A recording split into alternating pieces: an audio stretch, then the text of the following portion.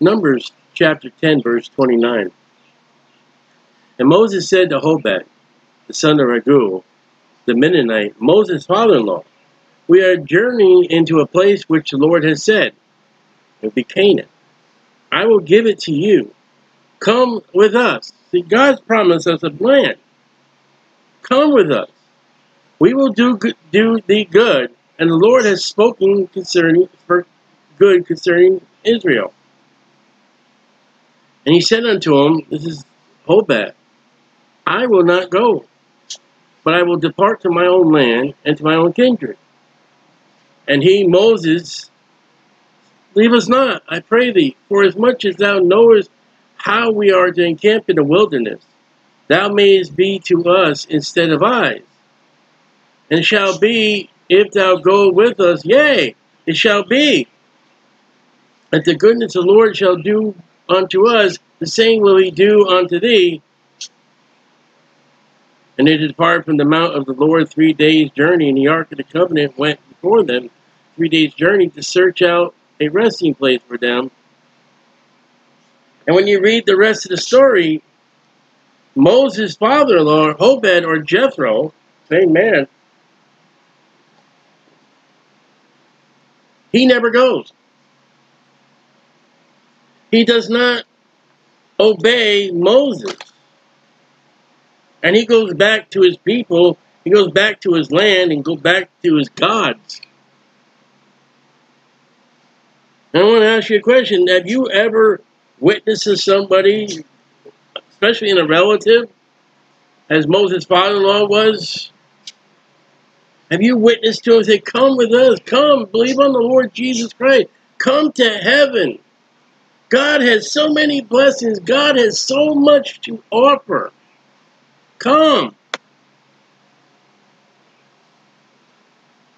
And they remain behind. They go back to whatever they believe. They don't go the way that God has prescribed for men to go. Can you imagine what Moses felt like? And remember, Moses, his wife, and his sons are also going to leave their dad and their grandpa.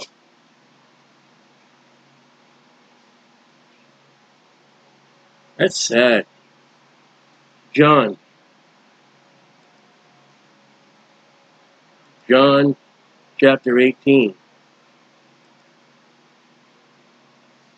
verse 37. Pilate said unto him, Art thou a king then? Jesus answered, Thou sayest that I am a king. To this end I was born, for this cause came I into the world, that I might that I should bear witness unto the truth. Even one that is of the truth heareth my voice. And Pilate says unto him, What is true? And when he said this, he went out against the Jews and said unto him, I find in him no fault at all. And you know the rest of the story. He still says, listen, uh, this man, he's not guilty, he's innocent. And Pilate turns Jesus over to be crucified. An innocent man is crucified.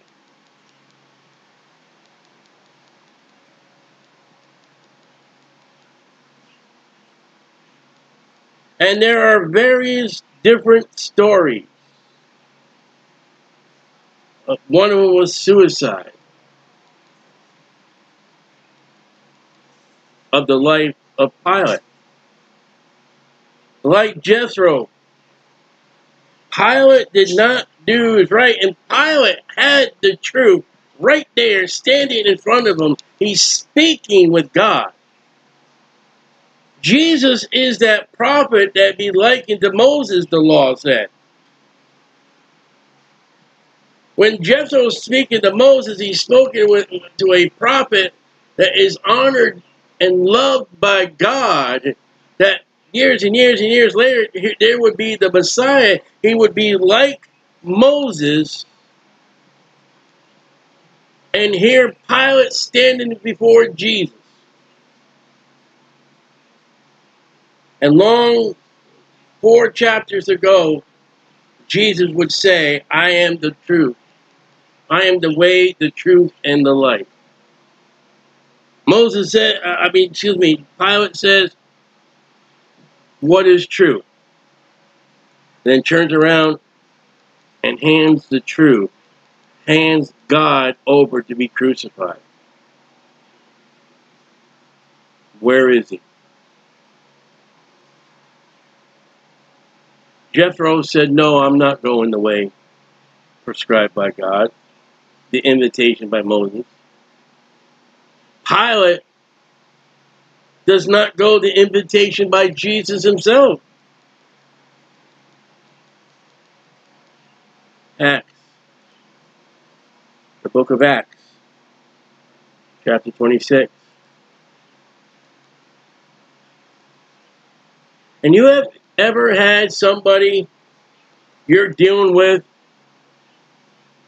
and you've gone maybe a long Bible debate and their final question is liking to Pilate, well, what is true? What is what is Jesus? You got your religion, and I got my religion. You believe what you want to believe. I'll believe what I want to believe. So be it. Jethro was, no, I'm not going to go that way. Pilate, it's like, what's the truth? His attitude had to be is, works for you, Jesus. You're going to go to the cross.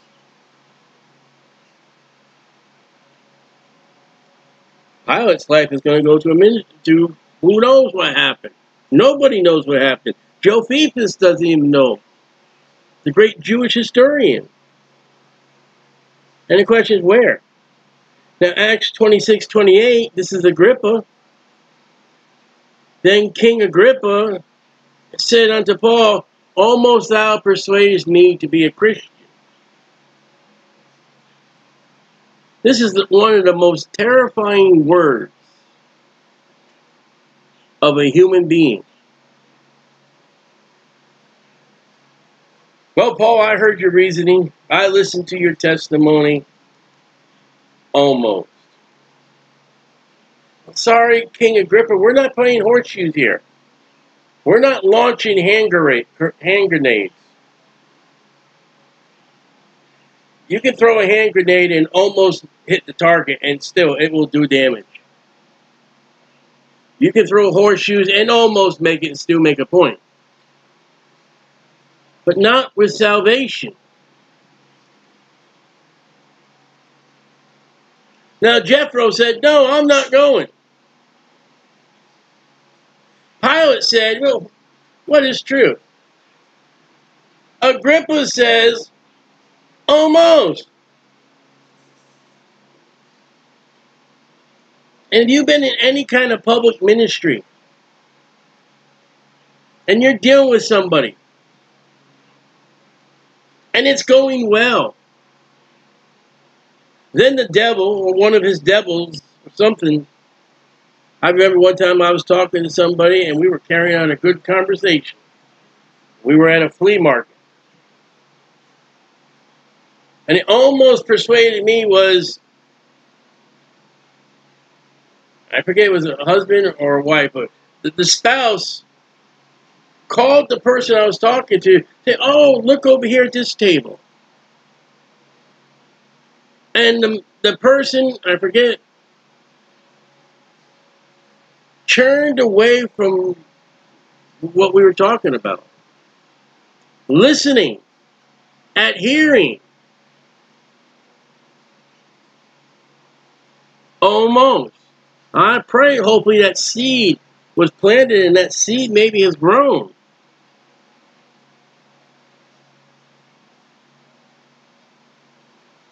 Jethro was, I'm not going. Pilate, what is what is true? Agrippa's like, almost. Can you imagine if, if King Agrippa never got saved and he's in hell today? Well, I almost. Can you stand to see him at the great white throne judgment if he never got saved? Well, Jesus, I almost. Well, depart from me, work of iniquity. I never knew you. Almost is not. What do you say to almost? You didn't. You are going to have a fellowship at church. And somebody comes up to you and says, Well, what can you bring? Well, I'll bring chocolate chip cookies.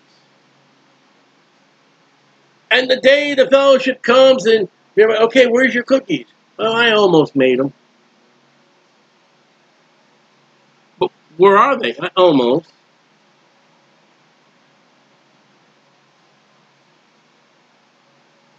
That's sad. And if you've ever had been in a public ministry of witnessing evangelism, you've had somebody walk away and say, No, I'm not going that way. You've had somebody say, Well, it's good for you, it's good for me, it's good for them. What is true? And you've dealt with somebody and they may not have said oh mo but you i mean your heart is ticking it's beating it's uh, yeah all right and then boom.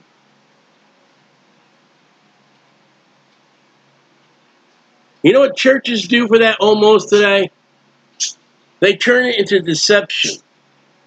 They get somebody's almost they're they have not they almost, and then they say, okay, say this prayer. And that person walks away almost not believing, okay, I, I said a prayer, and they die and go to hell. Almost is not salvation. You don't have them walk the altar. You don't have them say a prayer with almost. We are on dangerous grounds now. Because a Christian, a church will take that almost so they can make a tally mark on a piece of paper. Look, somebody said a prayer. I've been in churches like that. But almost is not salvation. Now, almost is maybe you can go to the right side and get saved, or maybe you can fall to the wrong side and go to hell but almost. Second Timothy. Second Timothy 4 2. Paul's come to the end of his life. And he says, For Demas has forsaken me, having loved this present world, and is departed from Thessalonica. Now, unlike Jethro, Moses' brother in law, we have a Christian here, and he, the, the marks of Demas have been well unto this point. Demas has been walking with Paul. Demas has been part of ministries. Then one day, for the world, unlike Moses, the word the Hebrew said Moses suffered affliction rather than the pleasures of sin for a season. Demas goes for the pleasures of sin and he walks. Now he's not lost. He didn't lose his salvation. He did decide, you know what? It's no longer worth it. And that broke Paul's heart. You got somebody who's saved. He's walking unlike Jethro. He has accepted the truth like unlike Pilate. There was no almost like King Agrippa. Demas was a saved man. And in one day in his Christian walk, he said, I'm finished.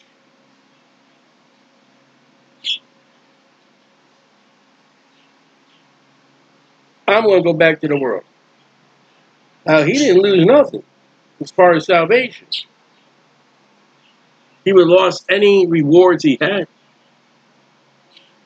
any gold, silver, precious stone. And he went to the wrong area. He went to Thessalonica. Thessalonica was on fire for the Lord. They were being persecuted for the word. They were out there witnessing for the word. They were out there on fire for Jesus. I always said Demas, he went to the wrong city to backslide. What? Have you ever had a Christian walk, Christian ministry, Christian evangelism, where somebody says, no, I'm not going? Maybe the family member. That hurts.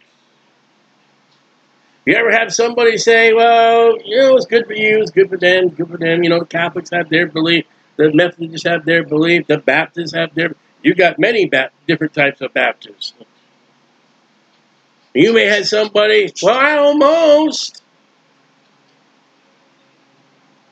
About you ever had a Demas? They're on fire for the Lord, they're, they're out there, they're doing something, and then one day you, you hear, Where's Demas? He gave up.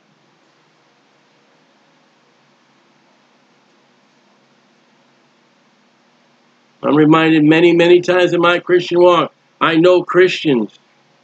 They're no longer in the, they're saved, but they're no longer in the service. They used to knock on doors. They used to pass out gospel tracts. They used to be on fire. They would read their Bible. They were, they were excited about the Word of God. They would say, look what I read in the Bible this week.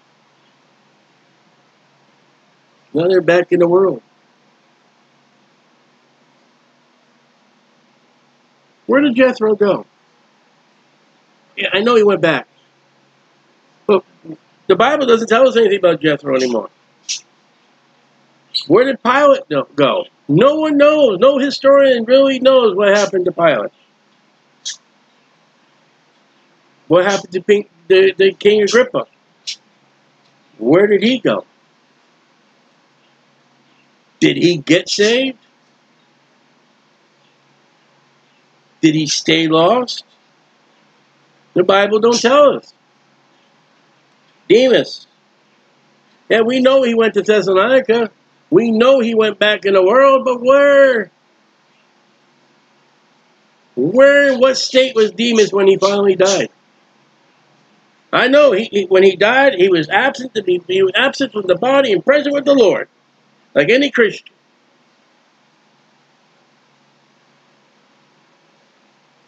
The Bible is the same thing.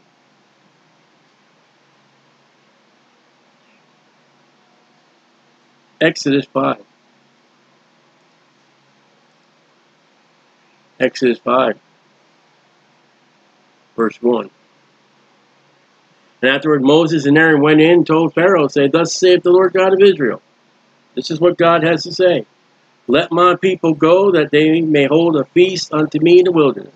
And Pharaoh, here's Pharaoh, said, Who is the Lord, that I should obey his voice to let Israel go? I know not the Lord, neither will I let Israel go. You've been evangelizing, you ever been out in the public ministry, you ever been dealing with somebody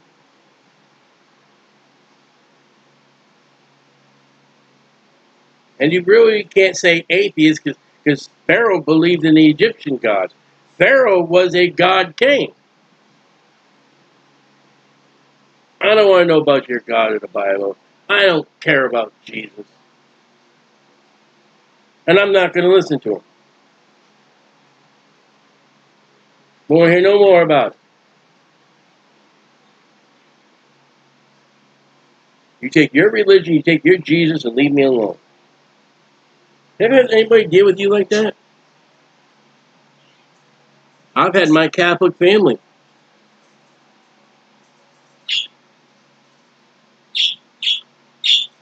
Now we know where Pharaoh ended up. He ended up dead in the Red Sea. And many Christians don't even believe that. But he did. He died in the Red Sea. He drowned. He drowned lost and went to hell.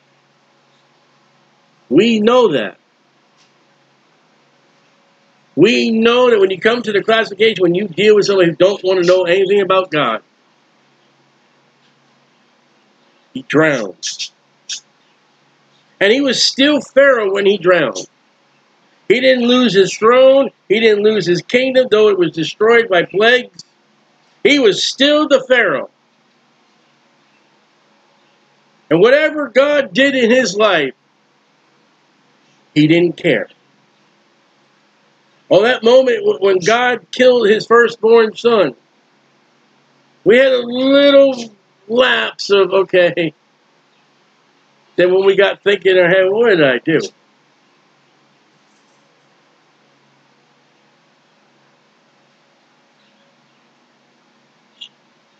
Where did Jethro go? He didn't go with Moses. He didn't go with the, the children of God.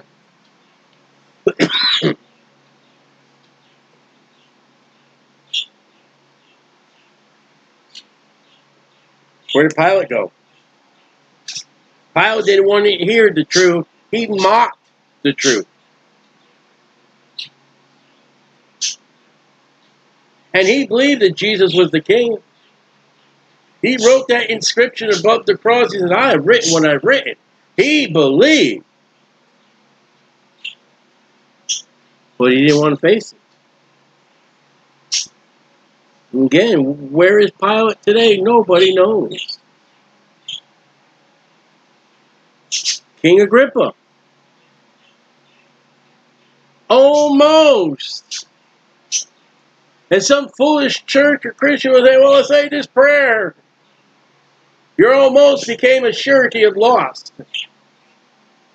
I'd rather leave somebody almost and let the seed do its work. Because if God gives the increase, if God sends somebody to water that seed, that almost will become salvation.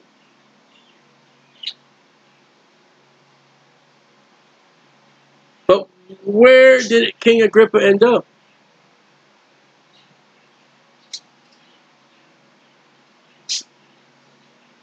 Demas, a saved man, a follower of Paul. There are great things written about him in the Bible. Then one day Paul wrote, he's backsliding. He went back to the world. He didn't lose his salvation. He lost his rewards. Where is he? Where is he? Pharaoh, I don't want your God.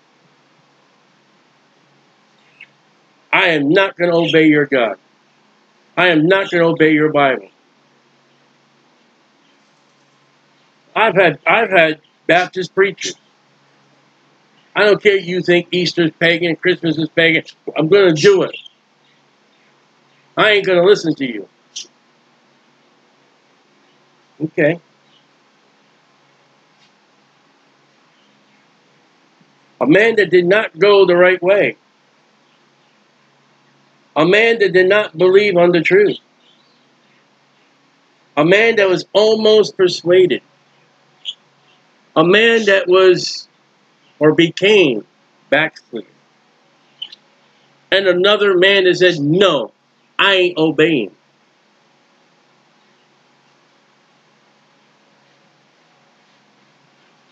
And in your Christian walk, in your Christian life, whether it be a family, a friend, a co-worker,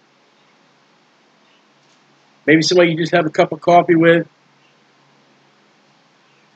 and it leaves you in, your Christian walk. And there are some Christians that, where are they? I know one Christian family they loved the Lord, but they valued a family outing more than they did service to God. They're broken out in the world. Where are they? What are they doing? They got other interests. It's like all these people here. And the question is, they would not. And we know not where they be.